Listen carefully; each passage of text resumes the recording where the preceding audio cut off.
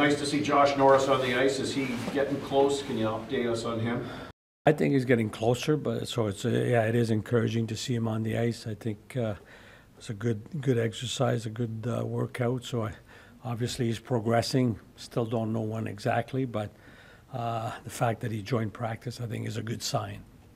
What did you work on in practice today, specific to maybe what you're going to see against Colorado and how you played the other night? Yeah, I, I think you know several things. One, uh, definitely our, our D zone coverage. You know, trying to uh, to do a better job uh, in that aspect. Uh, you know, we did some some two on two, some battles, and you know, like two on two, I think is important. Uh, boxing out, I think that's one area that I'd like our team to improve as far as uh, getting less people in front of the net, controlling the front of the net more, uh, making more difficult for the opposition to get there and uh, to be in a position when there's a rebound we could clear. You know, um, you know. So I think you know, worked on our special units. You know, there's a lot of areas, but try to identify what's more pressing and uh, work from that. You've been the interim head coach now for almost, I think, just over a month. What have you learned about this team? You know, now that you're behind the bench, and um, just your reflections. Well, I think uh, I like our group. I think it's a it's a very good group, some very good people. Uh, I think they have, um, you know, they're coachable. They they want to learn. They want to get better. Um, I think it's, um, you know, it's uh, what I've learned is that you know we got to keep working uh, on a regular basis on you know the details of the game. Uh, you know, trying to improve our, our structure. Um, you know, and we've changed a couple things. We, you know, what work at our, our identity. I think you know that's that's part of the process. Something though, Jacques, that when you're trying to do it in season, you were talking, when I talked to you last week in Calgary, you were saying like, you have so many practices. That's something you'd usually do in camp, right? And you're in trying to do it on the fly. Does that make the job more difficult? Like, Well, it does, you know, but yeah, you have to adapt, and I think like you know that's why we've we've done I think a lot of the teaching in, the classroom in, in our meetings. Uh, because we just haven't had that many uh, chances to practice on the ice, uh, you know, because of the number of games, the traveling, we've been on the road, so it, it's difficult. You you got to make sure that you allow the proper time to recover. Uh, you know, and probably this week is a good example. Like you know, with the you know with the four game this week. Uh, so I think uh, you try to maximize when you do have a practice, but I still think that you can learn uh, through uh, video and uh, just trying to get better every day. What do you feel your team is learning in terms of the concepts so far under your tenure? Well, I think that uh, that uh, they're improving. You know, I think it's uh, it's work in, in progress. Uh, you know, I think uh, a good example when you look at the uh, the offensive zone time that we had last game. You know, it's encouraging. Uh, we've had some games where we've done a good job controlling the puck in the offensive zone, lots of movement, getting to the net. Uh, you know, the number of scoring chances that we create. So I think there's a progression there. Um, I think we just, just need to keep focusing on, on some of the details. Surprised you in your hiatus? You know, you stepped away from the game and you've come back. That's really changed, in your opinion, in the National Hockey League, maybe in terms of just how the players are uh, receptive to coaching.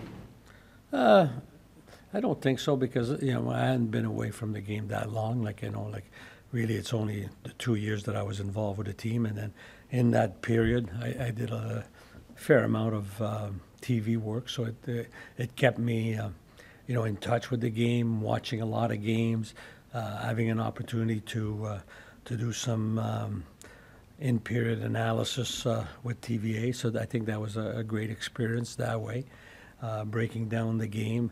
So I've never been really away. I was away from the team, but um, I think in my last five six years, I think the the uh, the players, the game has changed. I think the uh, the speed of the game, and, and I think that uh, we were probably part of it uh, in 2016 when I was in Pittsburgh when we won our two cups. We had a real quick team uh, that attacked a lot, a lot of pressure. So the National Hockey League usually tendency to, to look at who wins and then they try to copy. And I think now like the model is the Vegas Golden Knights last year. How did they win? They had four lines, a lot of good depth, you know, big bodies, good defense. So I, I think the game changes uh, constantly. I think, And uh, the, the big change to me is the, the skill level and the speed of execution of players today. I think like that, that's the one thing that, that's really changed. Um, that's why you, you, you've got to be, you got to be really sharp mentally when you play the game uh, away from the puck. But you know, you see a lot of the good teams. You know, and as the season progresses, you know, you're seeing games now. You win one nothing, two one. You know, uh, so it's not always a, a five four or high scoring games. It's as you get closer to playoff, players, you know, and teams know that in order to win in the playoff, you really got to bear down. With the added skill that you're mentioning, how much harder is it to, to make your team play defense at the way you want to? Well, I think that's the same for, for every uh, every team. I think one is, you know, is having the the, the proper mindset first of all, uh, you know, on the ice, and then number two, then it becomes uh, more of a technical aspect. But I think with a lot of the players, um, they have the skills. Not only offensively, they have the skills to be very effective away from the puck. It's just a matter of you know focusing on it and recognizing. To me, recognizing situations um, where uh, you got to apply those principles. You know, like I think I've never been a coach to take away any creativity to our team, but it's able, um, it's being able to recognize situation. And I can't remember what goal uh, we scored last game, but it was a perfect example where Tim Stützle came over the blue line. And he was kind of jammed. It was really a two on four. He chipped the puck in. We kept the attack. We made a change, and we en- it ended up in, in a goal for us.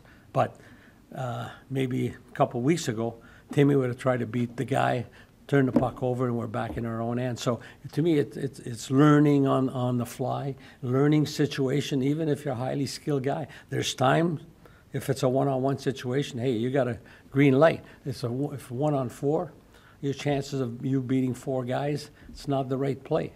You said mindset. Can you maybe just describe what you mean by like a defensive mindset? Well, it's not, it's not really a def- just defensive mindset. It, it's puck, it's uh, game management.